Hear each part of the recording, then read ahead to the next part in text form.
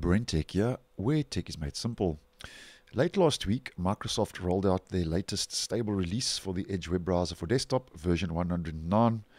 And I did post on that, and if interested, I'll leave a link to that in the description. Now, unfortunately, uh, according to a recent report by gHacks, for some users after upgrading to version 109 of the Edge web browser, um, the uh, new version is affecting the printing from the actual browser uh, for some users. Now, at this stage, um, it's mainly affecting printing using special characters like umlauts. I think I've got that pronunciation right. And an umlaut, according to the online dictionary, um, is basically a mark used over a vowel to indicate a different vowel quality, and that's especially in the German language. So, printing with special characters uh, for some users um, is causing issues after upgrading to version 109.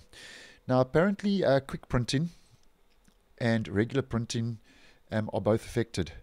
And um, according to the report, uh, users have tried reinstalling uh, printed drivers, which at this stage is not resolving the issue. Now, a temporary solution, according uh, to the report, would be uh, to uh, rename your printer.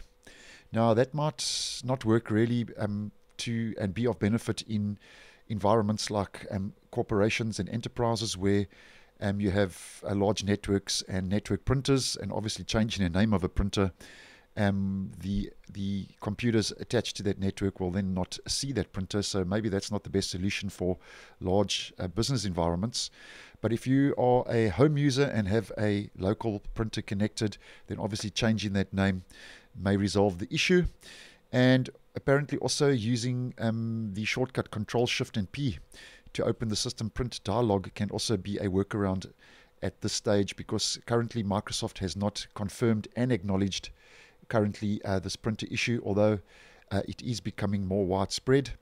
And um, if anything does change when it comes to Microsoft uh, giving us some more information or rolling out a fix or actually officially confirming the issue, I will, like always, post and let you know accordingly. So, um, if you are experiencing any printer issues, as mentioned, just try a couple of those solutions, especially if you are a home user. So, thanks for watching, and I will see you in the next one.